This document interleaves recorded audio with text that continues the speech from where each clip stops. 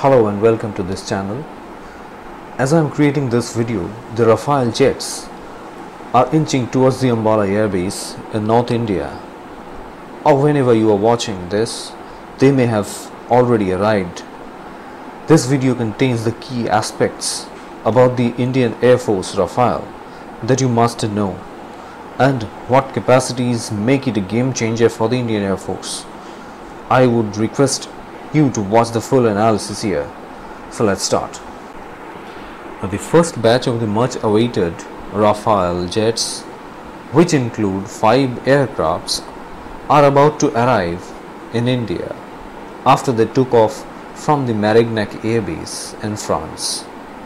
The first fighter jet was handed over to the Indian Air Force way back in October 2019 in France whereby the Indian Air Force personnel and pilots they are undergoing the training sessions about the technical know-how about this Rafale jets.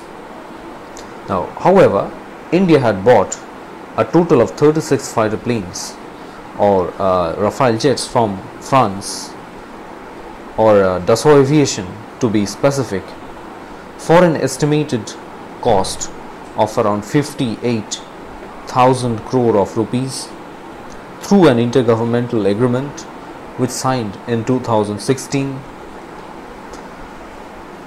and uh, this particular Rafale jet is a twin engine canard and delta wing multi-role fighter aircraft which is designed and built by the Dassault Aviation.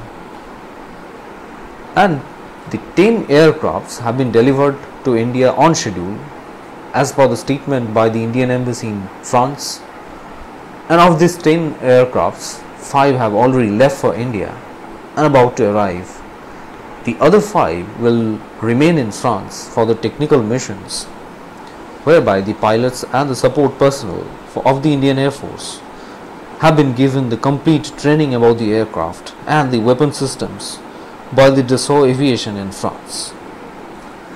And the first fight, Rafale uh, fighter jets will reach the Ambala Air Base on the 29th of July. And these five uh, fighter jets are a mix of three single seater versions and two twin seater versions. And they will be inducted to the Indian Air Force after a final induction ceremony that is about to or scheduled to happen somewhere in the second half of the August. However, the delivery of all the 36 Rafale jets is scheduled by the end of 2021. Now the five fighter jets which are about to arrive or may have arrived they will comprise of the resurrected number 17 Golden Arrow Squadron of the Indian Air Force and they will be stationed in the Ambala Air Base in the state of Haryana which is uh, in the northwest part of India and it is very close to the China and Pakistan border. And the Golden Arrow Squadron was raised in the year of 1951 and they have been involved in a number of significant operations throughout their history including the Kargil war. But after the Air Force started to phase out the MiG uh, 21s which were operated by this particular Golden Arrow Squadron.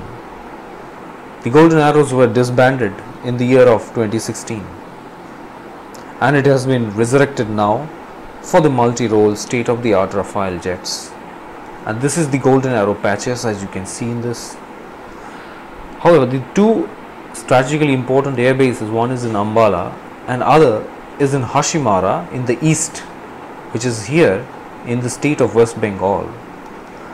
They will house the first and second squadron of the Rafale respectively and both the bases have been established with a huge infrastructure which is necessary for the Rafale operations. Now the literary meaning of this Rafale is a gust of wind, gust of wind or in a military sense it is also burst of fire. So these are the literary meanings of this Rafale and this Rafale is a canard delta wing configuration. You can see this is the canard and this is the delta wing platform. And it is having twin engine. These are the twin engines one here and one here. And it is a medium multi-role combat aircraft. It's manufactured by the Dassault Aviation. Now the company claims that the Rafale jet is having omni-role capacity or capability to perform several actions at the same time such as firing the air-to-air missiles or AIMs at a very low altitude and air-to-ground missiles or air-to-ground operations and also interception interception during the same sortie. Now the technology is a state-of-the-art technology which is a 4 plus generation. Now as you may be knowing the fifth generation aircrafts that are comprising of most the stealth aircrafts and the fourth generations aircrafts are like the Sukhoi 30 MKIs and this Rafale will be fitted just between these two generations.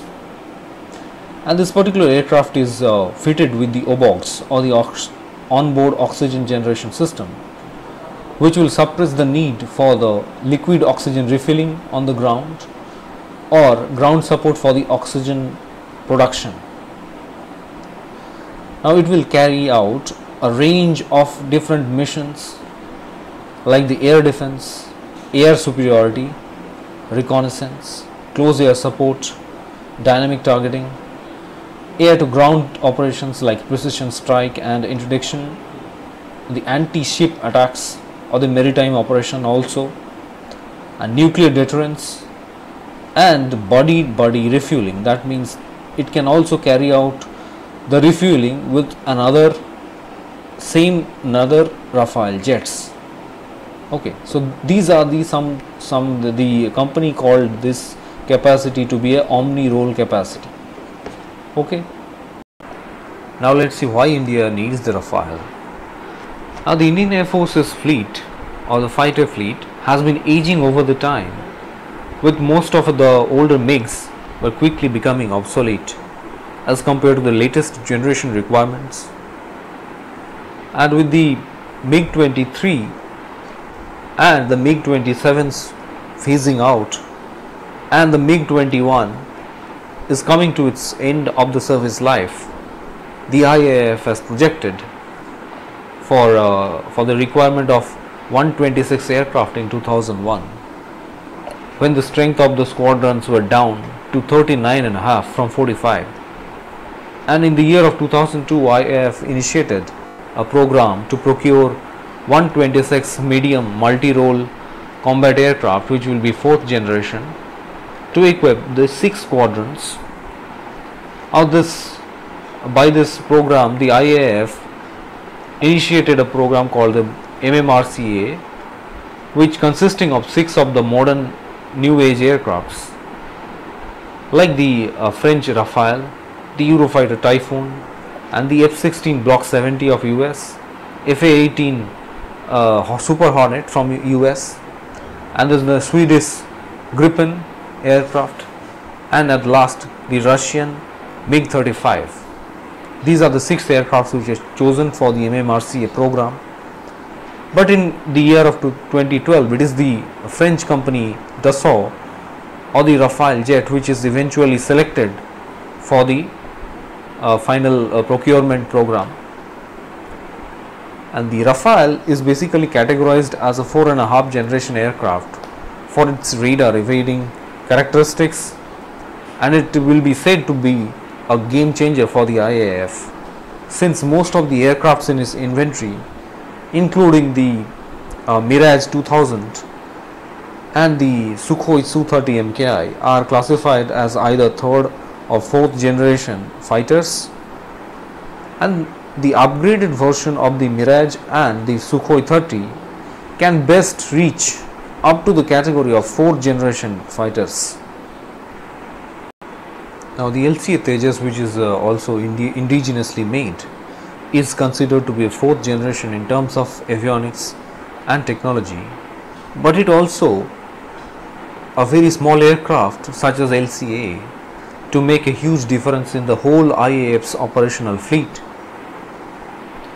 Now, many international aviation manufacturers expressed their concern or interest in the uh, in Indian government's plan to revamp the IAF's fleet with the multi-role medium combat aircrafts. The IAF conducted technical and the flight evaluations and in the year of 2011 it declared Rafale and the Eurofighter Typhoon to be meeting its criteria. However, it was the Rafale which was declared to be the L1 bidder or the lowest bidder in the year of 2012 and selected as the final winner in the MMRCA program. The contract negotiations begin with the Indian government and the French company and but it uh, remained incomplete even after 2 years of deliberate negotiations and in 2012 due to the lack of agreement and various terms and the cost related issues it was uh, remaining to be a no deal under the previous UPA government. Technology transfer remaining to be the primary issue of concern between the two sides. Uh, the Dassault Aviation was not willing to take the responsibility of the quality control of production of the 108 aircraft which is scheduled to happen in India specifically in the HAL or the Hindustan Aeronautics Limited. And at last in uh, the year of 2016 it was the current government or the NDA government which finally uh, got uh, success with the company's negotiations. And they have selected 36 of the Rafale jets. And these jets out of these jets 5 are arriving in this July.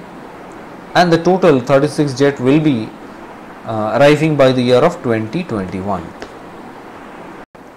Now let's see some of the features of the India specific Rafale. Uh, India has managed to negotiate the acquisition of the latest weapon package for the Rafale. Let's see this picture. In this picture, this is the weapon loadout of the Rafale and out of this weapon loadout, India has chosen some of the latest and the advanced weapons that is needed by India. So let's go back. So here other than the hammer which is a last minute addition it is also the fighter jet Rafale is also armed with the potent Meteor missile and Scalp missiles. It will enhance the airstrike capabilities and air dominance of the IAF. Scalp is a precision long range ground attack cruise missile that can take out targets with extreme accuracy and has a range of about 300 kilometers which is capped by the Missile Technology Control Regime or MTCR which is India is a signatory. It is also fitted with the Meteor which is said to be the most advanced and possibly the best in its class and it is said to be a BVR or beyond visual range air-to-air missile and it can take out the enemy aircraft at a range of 150 kilometers. The Rafale will also have the Mica missiles which can be used both for the visual and the beyond visual range air-to-air operations, interceptions and air-to-ground strikes. Apart from the missile systems, Rafales are also fitted with some of the various India-specific uh, features such as the Israeli helmet-mounted display or HMDs, towed decoy system to ward off the incoming missile threat, cold engine start capability to operate from the high altitude bases such as in the eastern Ladakh or other ALGs or advanced landing grounds that are placed in the higher uh, Himalayan regions to counter the adversaries from China and Pakistan. And then there is a electronic warfare suit in which there is a low band jammers, TENA flight data recording, infrared search and tracking system, and the French industrial support for the next 50 years. And Rafale cockpit is also housing some of the most advanced features like the HOTAS or hands on throttle stick control, which is seen here. The cockpit is also having wide angle display like this, and the avionics is supplied by the company Thales, which provides necessary data regarding the aircraft control and the firing cues. Then there is a camera and onboard recorder that records the display while the mission is being carried out by the aircraft. Now let's see about the Rafale engines. The Rafale is fitted with two engines which is capable of providing 50 kilonewtons of dry thrust and 75 kilonewtons of thrust with afterburners on. It is also having the facility of buddy buddy refueling. In this picture the buddy buddy refueling system is shown whereby one Rafale is being refueled with the help of other Rafale while still in the air. The twin engine fighter jets has a payload fraction with having the maximum takeoff weight or MTOW around 24.5 ton that is 24,500 kgs of payload it can take or MTOW and its overall empty weight is around 10 tons which is unmatched in any aircraft of the same class. Now in this picture the, uh, the engine is shown here. In this uh, particular engine there is some cutting edge technology which is being used and the cutting edge technology includes a single piece bladed compressor disc which is this section of the uh, engine and single crystal turbine blades which is this section as well as some ceramic coatings to enhance the serviceability of the engine. The engines push the Rafale at a speed around 1.8 Mach. For those of you who don't know, Mach is a speed which is compared which is used to compare the aircraft with the speed of sound. If any aircraft is gaining the speed more than Mach 1, it means that it is gaining supersonic speed or it is flying faster than the speed of sound. And the engines provide a range for more than 3700 kilometers with the help of three drop tanks. Now many a time it is said that the Rafale will be a game changer for the IAF what it means. Now the weapon that the Rafale packs, among the other things, make the Rafale a fighter which evolved over the time. And most of all the MBDA's Meteor missile, which is this, which gives the Rafale edge over any other aircraft in its class. Let's see what is so special about the Meteor. Now this Meteor is having a unique propulsion system which uses which is different from any other traditional rocket motor and it uses solid fuel and variable flow ducted rocket system which is said called as the ramjet engine. This ramjet engine gives the Meteor the ability to throttle its engine during various stages of the uh, flight towards the target. The Meteor has a greater chances of hitting a target at the long ranges than any other air-to-air missile which uses a typical rocket motor. And according to the MBD or the uh, company which uh, developed this MB uh, particular missile, the ramjet motor allows the missile to cruise at a speed over Mach 4 that is uh, 4 times the speed of sound provides the missile with a thrust all the way to target the intercepted aircraft providing the largest no escape zone as is seen here of any other missile in its class. In this picture you can see this particular image shows the no escape zone for any other air to air missile.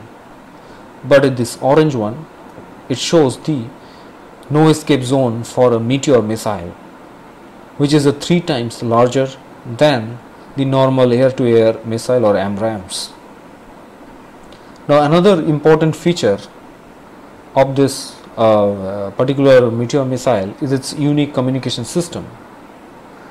By this what I mean is that it can hit the target more accurately and it can change or it can update the mid course updates to make the corrections to the trajectory of the missile so that the missiles can can be accurately targeted.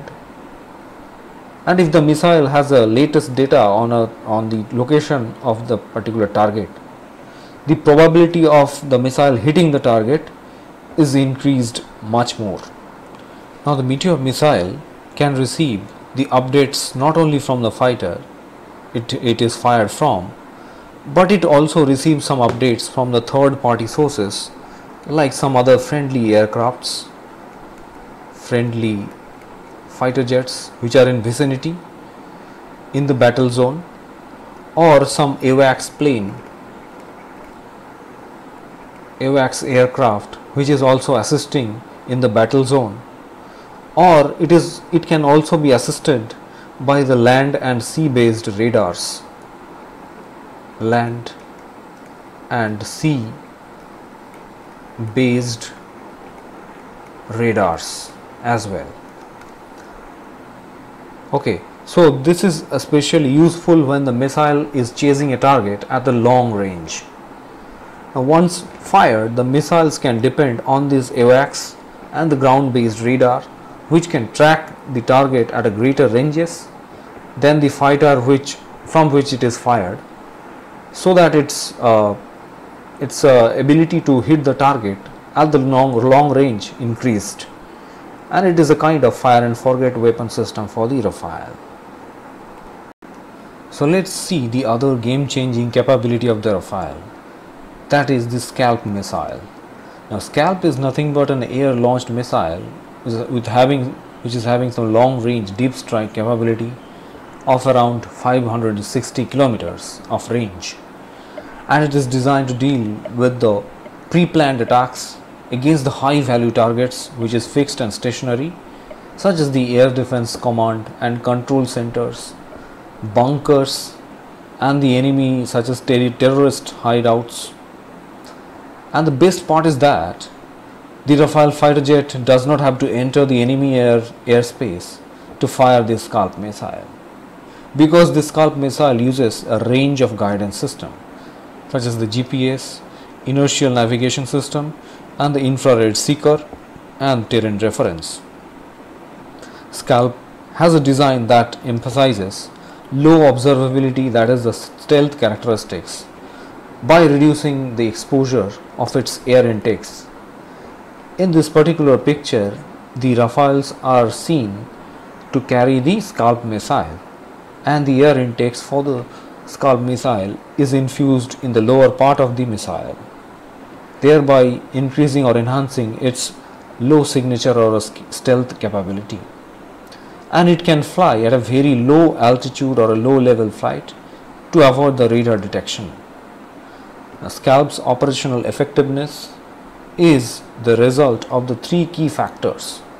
Number one, the high survivability due to its long standoff range and low observability due to its stealth characteristics and sophisticated mission planning system and pinpoint terminal accuracy through its highly accurate seeker and the target recognition system. Now in this picture one can see the Rafales are carrying two of its scalp missiles here and here along with three of the drop tanks. Here here and here. These are the drop tanks. T. Okay and these are the missiles. And this particular configuration of Rafale is used for the deep strike missions or long range attack configuration. Now along with the air launched BrahMos missile which is seen here this Scalp will be the first deep strike mission for the IAF the other two qualities which gives the Rafale a game changer name is the Hammer missile and the Maya missiles. Now Hammer is a short form of highly agile modular munition extended range. It is said to be a medium medium range air to ground weapons or a missile and this would give the IAF the capability to hit any solid structure such as bunkers or hardened shelter, concrete shelters or in any kind of terrain including the uh, rough mountainous locations such as the eastern Ladakh where a tense standoff is on between India and China. The hammer are sim- the hammers are similar to the Israeli origin Spice 2000 precision guided bombs which were used in the uh, Balakot airstrikes by the IAF Mirage 2000 fighters in February 2019. Now there is also Mica missiles which can be equipped with this uh, Rafale jet. And this Mica missile is well known to the IAF because it is a, a, a part of the upgrade package for the Mirage 2000 aircraft. And this system that is Mica is also unique because it is uh, equipped with uh, active radar system and infrared imaging which makes it deadly in the close quarter combat or dogfights and also in the long beyond visual range fights. Now the Mica missiles are having a nickname of the uh, silent killers as the target has a little time to react before it is destroyed completely. Now uh, here in this picture the Rafales can be seen uh, equipped with the 6 of hammer missiles 3 here and 3 here. And this one is the the particular Mica missile. Okay. So after the missile system let's see about the radar. Now, uh, Rafale offers the AESA radar or active electronically scanned array radar which is developed by the company called Thales. And in this picture the, uh, the Rafale is seen to be fitted with the radar in its frontal section here. Compared to radar, other radars of conventional antennas, this radar AESA radar is offering unprecedented levels of situational awareness which can be attained with earlier detection and the tracking of multiple targets at the same time. And with its superior beam agility and enormous computing power, this particular radar is offering outstanding performance which can never be attained any by any mechanically scanning radars. Now real this radar is offering real-time generation of 3D maps of the uncharted terrain in blind conditions, real-time generation of high resolution 2D ground maps for the navigation purpose, detection, identification and designation of land-based targets,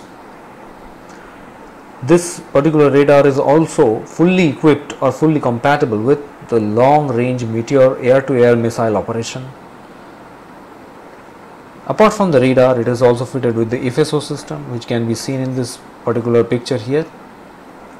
And this FSO system it uh, is operating at the optronic wavelength which is immune to radar jamming and it offers covert long range detection, identification, high resolution angular tracking and laser range finding of air, sea and ground based targets. There is also a electronic warfare system called Spectra which is offering the Rafale outstanding survivability against the latest airborne threats and ground threats as well. So this is the particular development about the India's or IAF's Rafale. Thank you for watching the video.